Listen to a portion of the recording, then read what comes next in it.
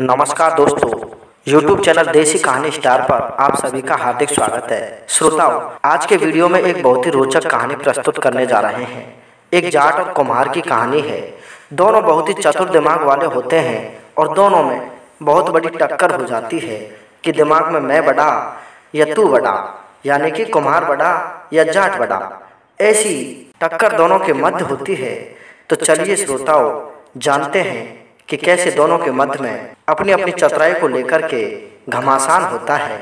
एक समय की बात है, एक गाँव में एक कुम्हार रहता था। उसकी दोस्ती एक जाट से हो जाती है। दोनों की दोस्ती बहुत अच्छी तरह से चल रही थी। एक दिन कुम्हार की शादी का वक्त हो जाता है और शादी में वो जाट को न्योता दे देता है। जाट कुमार के न्योते को देख करके उसकी शादी में सम्मिलित हो जाता है और उसकी ससुराल में जब जाता है तो देखता है कि कुमार को वधु के साथ साथ दहेज में एक सोने का कटोरा भी मिलता है। जाट और कुमार कुमार की पत्नी को वहाँ से विदा करके और उस सोने के कटोरे को लेकर के वापस अपने घर पर आ जाते हैं। श्रोताओं, शाम का वक्त हुआ। कुमार ने अपनी पत्नी के हाथों से बहुत अच्छा खाना बनवाया और जाट के लिए परोसा। जाट ने प्रेम पूर्वक खाने को खाया और जब सोने का वक्त हुआ तो कुमारी उस सोने के कटोरे में दूध भर करके जाट को पिलाने के लिए ले आई। जाट उस कटोरे को देख करके उसकी तरफ़ घूरने लगा कि किस प्रकार से मुझे ये कटोरा चुराना है। कुमार उसकी नज़रों से पहचान गया, क्योंकि कुमार भी बहुत बुद्धिमान था, कि मेरे दोस्त के मन में अब यही चल रहा है कि इस कटोरे को कैसे चुराना है। सोताओ खाना खा पी करके दोनों सो जाते हैं। कुम्हार अपनी खाट के ऊपर एक छींके में, उस कटोरे में पानी भर करके रख देता है कि जैसे ही ये जाट इसको चुराएगा तो पानी फैल जाएगा और मुझे चेत हो जाएगा। मैं इसे चोरी होने से बचा दूँगा। लेकिन जाट भी बड़े दिमाग वाला था। वो जैसे ही रात के वक्त उस कटोरे को चुराने के लिए गया तो उसने धीरे से उसमें उंगली डाल करके देखा कि पानी भरा हुआ है। तभी जाट बाहर जाता है और बहुत सारे बालू रेत ला करके उस कटोरे में धीरे धीरे डालता है। कटोरे का पानी सारा वो बालू रेत सोख लेती है और पानी खत्म हो जाता है। आराम से वो जाट उस कटोरे को उतार करके और रात में ही एक तालाब में गाड़ करके आ जाता है। सोताओ तालाब में गाड़ करके वो जाट पुनः आकर के अपने बिस्तर में सो जाता है। सुबह होते ही कुमार ने देखा कि सोने का कटोरा तो गायब है, तभी उसकी नज़र जाट पर पड़ी तो उसने देखा कि जाट तो कंबल ओढ़ करके सो रहा है, लेकिन उसका एक पैर उसमें से बाहर निकला हुआ था। उसने देखा कि उसके पैर पर कीचड़ लगा हुआ है। तभी कुमार समझ गया कि ये ज़रूर ना ज़रूर उस कटोरे को किसी तालाब में गाड़ करके आया है, क्योंकि इसके पैर पर कीचड़ लगा हुआ है। वो एक कच्चा सूत लेकर उसके पैर का नापा ले लेता है और उन्हीं खोजों पर उसी तालाब की तरफ़ चल देता है, जहाँ पर उसने उस कटोरे को गाड़ रखा था और उस कटोरे को वहाँ से उखाड़ करके वापस अपने घर में ले आता है। घर में आने के बाद में उसने जाट को बहुत अच्छा भोजन कराया। तभी जाट कहने लगा कि सुनो कुमार भाई, मैं यहाँ से अब जाना चाहता हूँ। तभी कुमार कहने लगा कि भाई साहब, एक दो दिन का समय और हमारे घर पर व्यतीत कर लीजिए, उसके बाद में आप चले जाना। ऐसी कोई बात नहीं है। मैं भी मेरे घर में अकेला हूँ। मेरा भी आपसे मन लगा रहेगा। सोता और शाम के खाने के बाद में पुनः कुमारी ने उसको उसी कटोरे में दूध ला कर के दिया तो जाट आश्चर्यचकित रह गया और अपने मन में सोचने लगा कि इस कटोरे को तो मैंने चुरा लिया था, ये कटोरा इसके पास में कहाँ से आया? तभी वो बोलने लगा कि भाई, इस कटोरे को तो मैंने रात को चुरा लिया था, ये आपके पास में दोबारा कहाँ से आया? तभी कुमार ने सारी बात उस जाट को बता दी। तब जाट कहने लगा कि आपके अंदर इतना दिमाग है और मेरे अंदर भी इतना सारा दिमाग है, क्यों ना हम दोनों अपने दिमाग का इस्तेमाल करके कोई अच्छा बिज़नेस शुरू कर दें? दोनों की बात समझ में आ गई और दोनों किसी बिज़नेस के बहाने से अपने घर से बाहर चले जाते हैं। बाहर जाते वक्त दोनों ने एक शहर में जैसे ही प्रवेश किया तो उन्हें सामने से एक अर्थी आती हुई दिखाई दी। उस अर्थी को देख करके दोनों ने अपना दिमाग लगाया कि आज हमें इस अर्थी से ही पैसे लूटने हैं। श्रोताओ अब आगे देखिए कि कैसे उन्होंने उस अर्थी से पैसे लूटे। उस गाँव में एक सेठ की मृत्यु हो गई थी। सेठ के चार पुत्र थे। चारों पुत्र उसको अपने कंधे पर लाकर शमशान घाट में जला देते हैं। जलाने के बाद में दूसरे दिन वो उस शमशान घाट के पास में ही एक सुरंग बना लेते हैं और उस सुरंग में जाट का लड़का उस कुमार के लड़के को बंद कर देता है और उस सेठ के घर पर जाकर कहने लगता है कि सुनो भाई, मैं सोगन जाट हूँ। मेरा नाम सुगन जाट है। सेठ जी कहाँ पर गए हैं? तभी उसके लड़कों ने जवाब दिया कि भैया, सेठ जी को मरे तो आज दो दिन हो चुके हैं। वो तो इस संसार से मर चुके हैं। तभी सुगन जाट कहने लगा कि भैया, ये तो बहुत बुरा हुआ है। उन सेठ जी पर मेरे चालीस हज़ार रुपये थे। अब तो आपको ही वो चालीस हज़ार रुपये देने पड़ेंगे। सेठ जी के लड़के कहने लगे कि मैं कैसे मानूं कि उन्होंने आपसे चालीस हज़ार रुपये उधार लिए थे। तभी सुगन सेठ कहने लगा कि आप अपने बही खाते में जाकर के चेक करिए, वहाँ पर आपको मिल जाएँगे चालीस हज़ार रुपये का खाता। उन्होंने अवश्य ही लिख रखा होगा। सेठ के लड़कों ने सारे बही खातों को खोल करके देखा, लेकिन कहीं पर भी चालीस हज़ार रुपये उधारी के नहीं लिखे हुए थे। तभी सोगन जाट कहने लगा कि, भैया, अगर मेरे पैसे मेरी मेहनत की कमाई के होंगे तो आप शमशान घाट में चलिए। आपने सेठ जी को कहाँ पर जलाया है?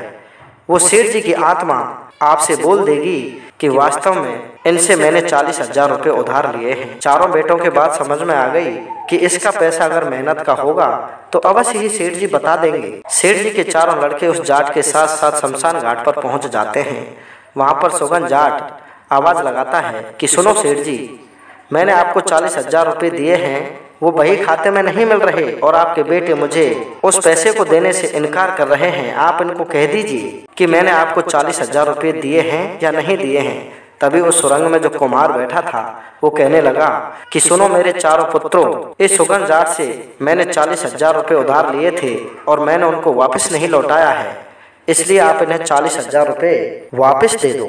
सेठ जी के लड़कों ने जब ऐसी आवाज़ सुनी तो उन्हें चालीस हज़ार रुपये लौटाने पड़े और चालीस हज़ार रुपयों को लेकर के जाट अपने मन में सोचने लगा कि कुमार को वहीं रहने दिया जाना चाहिए और मैं इन चालीस हज़ार रुपयों को लेकर के मैं अपने घर पर चला जाता हूँ। इधर कुमार सोचने लगा कि चालीस हज़ार रुपये जाट को मिल गए होंगे और वो कभी भी मेरे पास में वापस नहीं आएगा। वो उन पैसों को लेकर के अवश्य ही अपने घर पर चला जाएगा। कुमार ने एक दिमाग लगाया। अपने पैरों में पहनने के लिए उन्होंने एक जोड़ी नई जूतियाँ खरीदी और शॉर्टकट रास्ते से उसे पता था कि कहाँ होकर के हमारे गाँव का रास्ता है। उससे शॉर्ट रास्ते से उस जाट से पहले ही जाकर के बैठ गया और जब उसने देखा कि जाट रुपयों की पोटली को लेकर के आ रहा है तो एक जूती को तो उसने रास्ते में गिरा दिया और दूसरी जूती को 500 मीटर दूरी पर आगे जाकर के गिरा दिया और वहीं पर एक पेड़ के पीछे छुप जाता है। जब जाट वहाँ से आया तो उसने देखा कि एक नई जूती गिरी हुई है, लेकिन उसको उसने वहीं पर छोड़ दिया। सोचने लगा कि मैं एक जूती का क्या करूँगा। 500 मीटर आगे जाकर देखा तो दूसरी जूती भी उसे वहाँ पर पड़ी हुई दिखाई दी। जाट सोचने लगा कि ये दोनों जूतियाँ एक ही हैं। क्यों ना इन जूतियों को ले लिया जाए? जाट उस रुपयों की पोटली को वहीं पर रख देता है और एक जूती को लेने के लिए पुनः वापस 500 मीटर की दूरी पर जैसे ही पहुँचता है तो कुमार उस पोटली को उठा करके वहाँ से अपने घर पर आ जाता है। जब जाट ने देखा कि यहाँ पर तो कोई रुपयों की पोटली नहीं है तो वो सारी बात समझ जाता है कि कुम्हार ही इस पोटली को लेकर के अपने घर पर गया होगा। ऐसा मन में विचार करके जाट कुम्हार के घर की तरफ़ चल देता है। उधर कुम्हार उन पैसों को अपने घर के आँगन में गाड़ करके और अपनी पत्नी से कह देता है कि यहाँ पर जाट ज़रूर आएगा। उसको मेरे बारे में बताना मत। मैं कुएँ में जाकर के छुप जाता हूँ। आप वहीं पर जाकर मुझे रोटी पानी दे दिया करो। ऐसा कहकर के कुमार एक सूखे कुएँ में छुप जाता है। उधर जाट कुमार के घर पर पहुंचकर कहने लगता है कि आपका पति कहाँ गया है? आया नहीं क्या? कुमारी कहने लगी कि मेरा पति तो आपके साथ में ही गया था। ये प्रश्न तो आपसे मुझे पूछना चाहिए था कि आप मेरे पति को कहाँ पर छोड़ करके आ गए। ये सवाल जब कुमारी ने जाट से बोले तो जाट को उन पर कुछ शक हुआ और वो मन में सोचने लगा कि कोई ना कोई गड़बड़ अवश्य है। अगर ऐसा होता तो इस कुमारी का मुँह उतरा हुआ होता। कुमार अवश्य ही यहाँ पर आया है। जब वो कुमारी पानी लेने के लिए कुएँ पर जाती तो बगल में सूखे कुएँ में रोटियों को एक कपड़े में बाँध करके उस कुमार के लिए डाल देती और बोलती, ये लो, आप रोटियाँ खा लो। ये क्रम दो चार दिन चलता रहा। फिर उस जाट को शक हुआ कि ये कुमारी पानी लेने के लिए जब जाती है तो अपने हाथ में कुछ लेकर के जाती है। इसको देखना चाहिए। जैसे ही कुमारी उस कुमार के लिए रोटियाँ लेकर के और कुएँ की तरफ़ गई तो जाट उसे छुप करके देख लेता है कि कुमारी उस कुएँ में कुछ डाल रही है। तब जाट समझ जाता है कि इस कुएँ में कुम्हार छुपा हुआ है और ये उसके लिए रोटियाँ डाल करके आई है। अगले दिन क्या हुआ? कुमारी के जाने से पहले ही वो जाट उस कुमारी का वेश बदल करके और कुएँ के पास जाकर के कुमार से कहने लगता है कि ये लो रोटियाँ खा लो।